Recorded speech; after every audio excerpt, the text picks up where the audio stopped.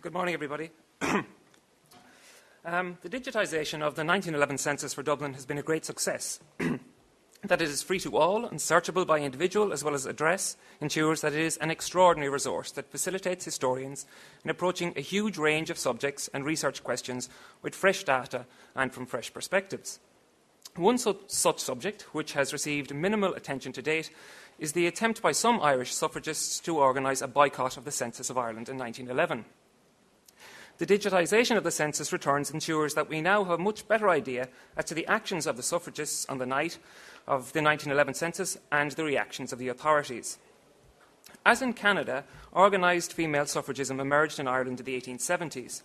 The first such organisation was founded in Belfast, but perhaps the most important was the Dublin Women's Suffrage Society, founded in 1876, which became the Irish Women's Suffrage and Local Government Association. These suffragist organisations adopted the standard methods of lobby groups. They held meetings, they pro- propagandised, they wrote letters, they organised petitions, they pestered politicians. By the early years of the 20th century, they had made progress. The suffrage issue was by then consistently before the public, but the suffragists had not yet convinced the establishment to legislate for the women's right to vote. At this point, a new phenomenon emerged militant suffrage groups whose members came to be referred to as suffragettes.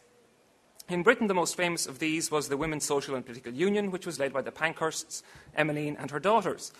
Between 1905 and 1914, the WSPU was at the forefront of a steadily escalating campaign of militancy. Disruption of political meetings and public protests gave way to the breaking of windows in public buildings, politicians' homes, shops, and then to arson, chemical attacks, and bombings. Around 1,000 women and 40 men were jailed in the UK in the years 1905 to 1914 for militant activity in the cause of female suffrage. Uh, initially, the WSPU did not organise in Ireland, and Irish suffragism remained comparatively moderate. But in November 1908, Hannah Sheehy Skeffington and Margaret Cousins, along with their feminist husbands Francis Sheehy Skeffington and James Cousins, founded the Irish Women's Franchise League. Um, these are the Sheehy Skeffingtons, and this is Margaret Cousins. Um, the IWFL did not immediately embark upon militant activity, rather, gradually, a vanguard of committed activists emerged. The first step towards militant action was taken in October 1910 when Sheehy Skeffington and Hilda Webb heckled Augustine Birrell, Chief Secretary of Ireland, at a meeting in Greystones, County Wicklow. In November 1910, six IWFL members, including Margaret Cousins, were imprisoned in England when they participated in protests organised by the WSPU. They broke the windows in Birrell's London home by throwing potatoes through them, and were then later arrested when breaking windows on Downing Street. Soon after this, the census of 1911 provided an occasion to suffragists to demonstrate their discontent at home in Ireland. As James Cousins put it, the census was a prime opportunity of throwing metaphorical spanners in official machinery.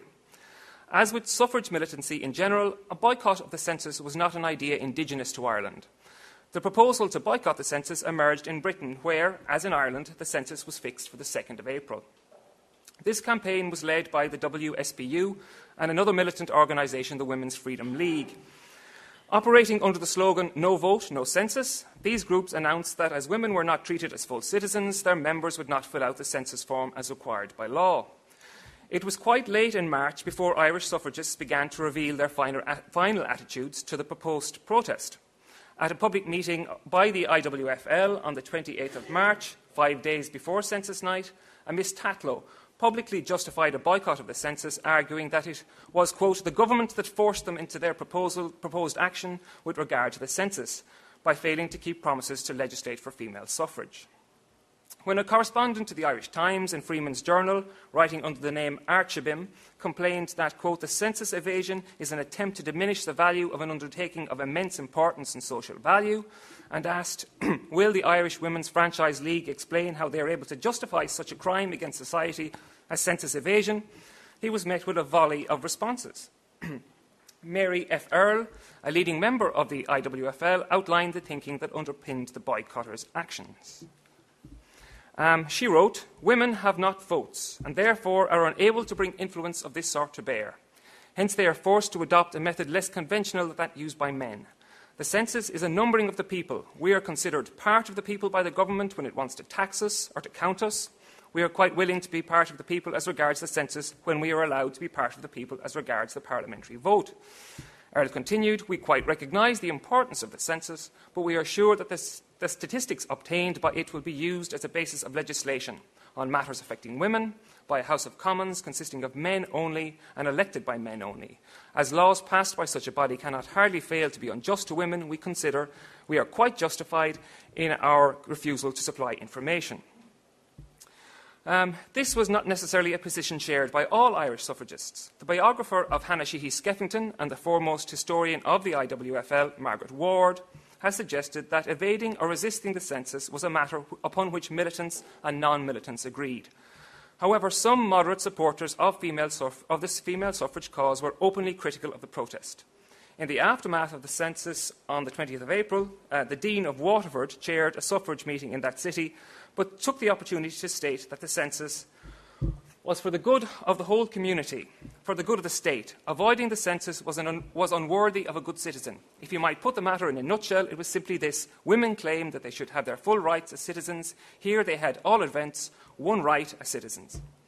Carmel Quinlan, the biographer of Anna and Thomas Haslam, the leading lights in the moderate Irish Women's Suffrage and Local Government Association, has noted a resolution passed by the committee of that organisation at its meeting in March.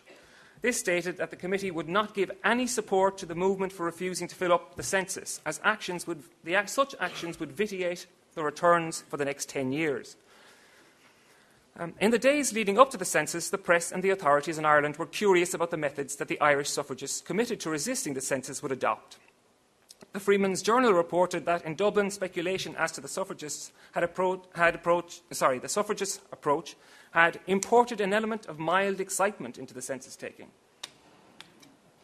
This speculation was sustained because the reporter of the Freeman continued, quote, in refutation of the popular belief that, that a lady cannot keep a secret, they seem to have guarded their plans successfully. In Britain, the Women's uh, Freedom League and the WSPU planned very public resistance. They organised a series of collective, collective public protests on census night, facilitating suffragists' absence from home or any other residence where they might be counted. In London, for example, the Pankhursts attended a concert at WSPU Hall, followed by a protest march at Trafalgar Square, attended by around a thousand women, followed by further entertainments laid on at the Scala Theatre, before concluding uh, the night by going to Aldwych skating rink between 3am and 8am. Inter- interestingly, some of the suffrage- suffragettes of Birmingham spent the night at the Gaelic League Hall there. When a policeman called upon a committee meeting of the IWFL in Dublin on the day before the census and asked if they intended holding a meeting on the following evening, he was informed that they did not, but instead had requisitioned a number of aeroplanes and submarines for the occasion.